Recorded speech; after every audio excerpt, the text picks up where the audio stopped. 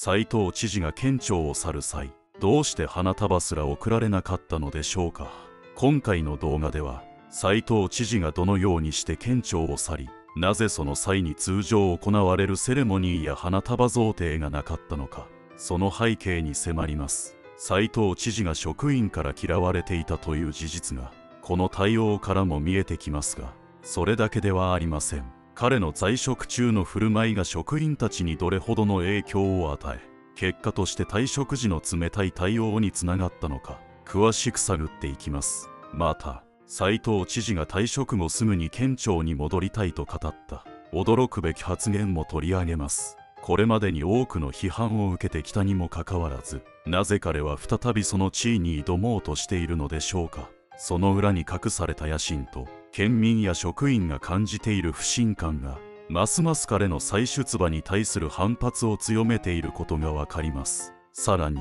斉藤知事を支持していた維新の会が彼との関係を断ち切り独自候補を擁立するという決定的な動きも注目すべきポイントです。政党内部で何が起こったのか斉藤知事への信頼がどのように崩れていったのかを掘り下げていきます。最後に市民やネット上での反応についても見逃せません。特に斉藤知事が高額な退職金を受け取ることに対して税金の無駄遣いだという声が多く寄せられています。この動画では斉藤知事に対する批判や不信感がどのようにして広がっていったのかその全体像を明らかにします。それでは斉藤知事の退職セレモニーでの扱いについてから始めましょう。兵庫県庁の玄関で県知事を退職する斉藤氏が最後の挨拶を行う場面がありました。しかし通常であれば行われるはずの花束贈呈や退職セレモニーが今回一切行われなかったことが大きな注目を集めました。このような対応は異例であり背景には斉藤知事に対する職員たちの深い不満と嫌悪感があると考えられます。県庁職員たちが自主的にセレモニーを行わなかった理由は明確ではありませんが斉藤知事の在任中に行った一連の政策や振る舞いが彼らに受け入れられなかったことは明白です。斉藤知事は在職中に多くの批判を浴びその統治スタイルは職員たちの間で物議を醸していました。特に職員とのコミュニケーション不足や彼の一部政策が現場の意見を無視したものであったことが問題視されています。県庁の職員にとって知事との信頼関係が築かれていなかったことは今回のセレモニーの不在が物語っていると言えます。知事職を退く者に対して普通であれば感謝の気持ちを込めた見送りが行われるものですがその伝統が破られたことは斉藤知事の影響力がいかに低下していたかを象徴しています。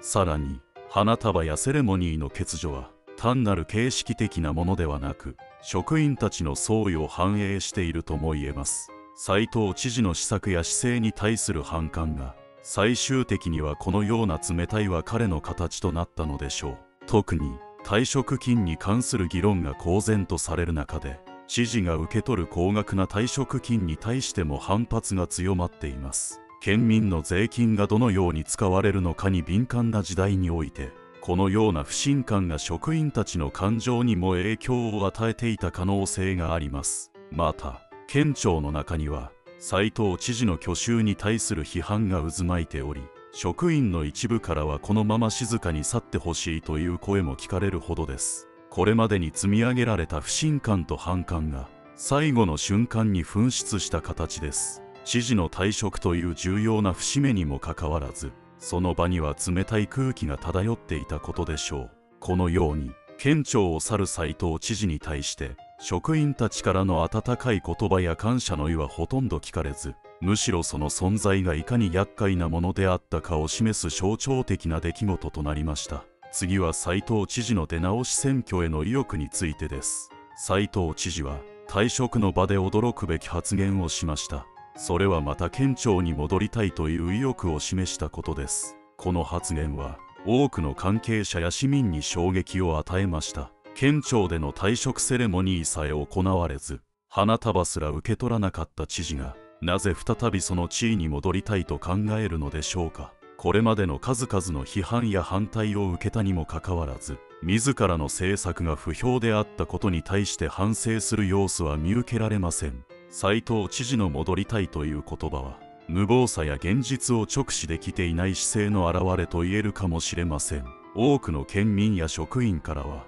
斉藤知事が再びその役職に戻ることへの反発が高まっています。特に彼の在任中に実施された政策は地方行政において現場の声が十分に反映されていないと批判されてきました。そんな背景にもかかわらず出直し選挙に立候補しようとする姿勢は斉藤知事自身の政治的野心を浮き彫りにしています。さらにこの戻りたいという言葉は単に個人的な願望に過ぎないというわけではなく県政への影響を再び及ぼそうという意図が含まれているように感じます。彼が掲げる政策やビジョンが県民にとってどのような影響をもたらすのかは一度その地位を去った後ではもはや信用を得ることが難しい状況にあります。それにもかかわらず斉藤知事は自信満々に再出馬の意欲を示しておりその姿勢が多くの人々にとって理解しがたいものとなっています。出直し選挙に向けた意欲を示す一方で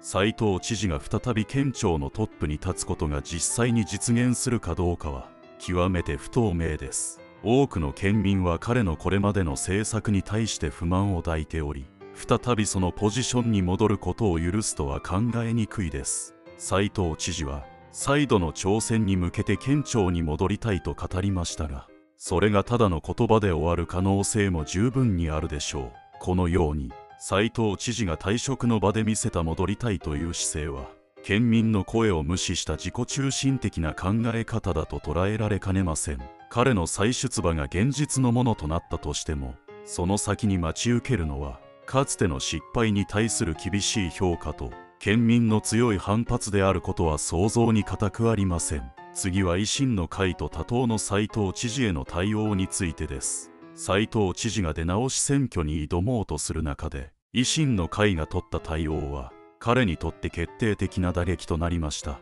維新の会は当初斉藤知事を支持していたにもかかわらず彼の政策や行動に疑念を抱くようになり最終的には支援を撤回し独自候補を立てる方針を打ち出しました。これは斉藤知事にとって非常に大きな政治的交代を意味しており彼の再選への道が一層険しいものとなる要因の一つです。維新の会が斉藤知事への支持を撤回した背景には彼に対する不信感が根強く残っていたことが挙げられます。特に斉藤知事が関与したとされる疑惑や一部の政策決定過程における不透明さが問題視されていました。これに対して維新の会は自党の信頼性を守るためにも斉藤知事を支援し続けることは政党の存続に悪影響を与えると判断したのでしょう。結果として維新は斉藤知事との関係を断ち切り選挙での対立を明確にしました。他党においても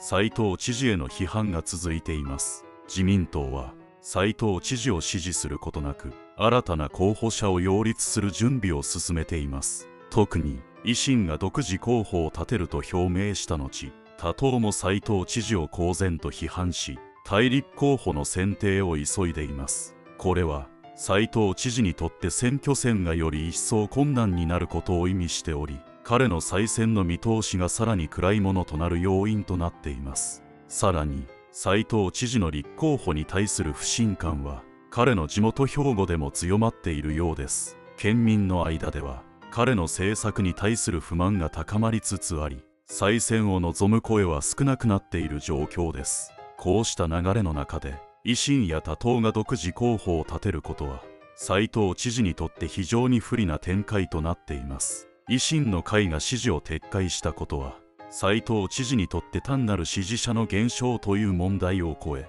政治的信用の崩壊を意味します。自党の支持を失った知事がいかにして再び県民の信頼を取り戻すかは大きな課題でありその道のりは決して平坦ではありません。維新にとっては信頼性を守るための決断であったとしても斉藤知事にとっては再選を目指す上で最も大きな障害となったことでしょう。このように維新の会と他党の対応は斉藤知事にとって重大な影響を及ぼし再選への道をさらに厳しいものにしています。最後は市民やネット上での反応についてです。斉藤知事の退職と出直し選挙への意欲は当然ながら市民やネット上で大きな議論を巻き起こしました。特にネット上では彼に対する否定的な意見が目立ち多くの人々が不満や疑問の声を上げています。中でも退職金や税金の使い道に対する批判が顕著です。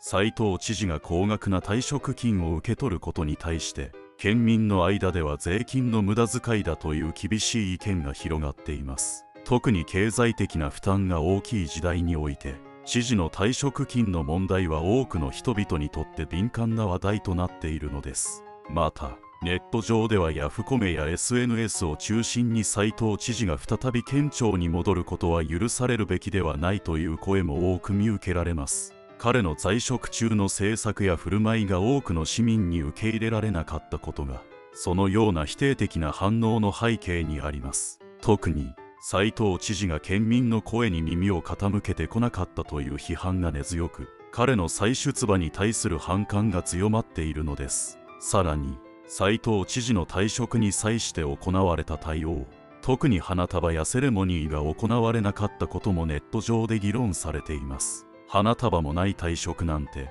いかに彼が職員たちから嫌われていたかを物語っているといった声や税金で退職金をもらうならせめて市民のためにもっと責任感を持ってほしいという意見が多く寄せられています。斉藤知事の態度がこうした市民や職員の不満をさらに増幅させていることは明らかです。ネット上で特に注目を集めたのは斉藤知事が今後も政治に関わり続ける意欲を見せたことに対する反発です。多くのコメントでは一度退職したのだからもう関わらないでほしいこれ以上県民の税金を無駄にしないでほしいといった声が上がっています。斉藤知事の再出馬が実現すれば選挙費用や公職に関わる支出が再び県民に重くのしかかる可能性が高いという懸念が市民の中で広がっているのです。このように斉藤知事の退職と出直し選挙への動きに対するネット上の反応は極めてネガティブなものが中心です。彼に対する不信感や税金の使い道に対する不満が特にネットの中で強く現れています。市民の間では彼が再び県政に関与することを強く反対する意見が増えており今後の動向が注目されるところです。それでは今回の内容を振り返り締めくくりましょう。斉藤知事が退職時に花束すら贈られなかったことは単なるセレモニーの省略というわけではありませんでした。この異例の対応は県庁職員たちが彼をどれだけ嫌っていたか彼の施策にどれほど不満を抱いていたかを象徴しています。今回の一連の退職劇を見て斉藤知事が再び県庁に戻ることを望む県民や職員がどれほどいるのでしょうか。この状況で出直し選挙を目指す斉藤知事の姿勢は多くの人にとって理解しがたいものに移っているのではないでしょうか。また斉藤知事を支持していた維新の会ですら彼を見限り独自候補を擁立する動きに出ています。かつての支持者たちからも距離を置かれる中で斉藤知事が再選を目指す道のりは非常に厳しいものとなっています。そしてネット上では彼の高額な退職金に対する批判が噴出し県民の税金の使い道に疑問を持つ声が日増しに強くなっています。このような厳しい状況の中で斉藤知事が再び県政に戻ることが本当に望ましいのでしょうか。私は今回の退職劇とその後の動向を見て斉藤知事の政治手腕が県民の信頼を回復することは難しいのではないかと感じています。県庁職員との信頼関係が崩れさらに支持政党までもが彼を見限った今彼の政治キャリアは大きな岐路に立たされています。県民の声を無視し続けることで斉藤知事が再びその地位に戻る可能性は限りなく低いと言えるでしょう。皆さんは今回の斉藤知事の行動や退職劇をどのように感じましたか？彼の再出馬に賛成ですか？それとも反対ですか？ぜひコメント欄で皆さんのご意見をお聞かせください。斉藤知事が今後どのような行動をとるのかまたそれが県政にどのような影響を与えるのか引き続き注目していきたいと思います。最後までご視聴いただきありがとうございました。ぜひチャンネル登録と高評価もお忘れなく。次回もまた注目のニュースをお届けしますのでお楽しみに。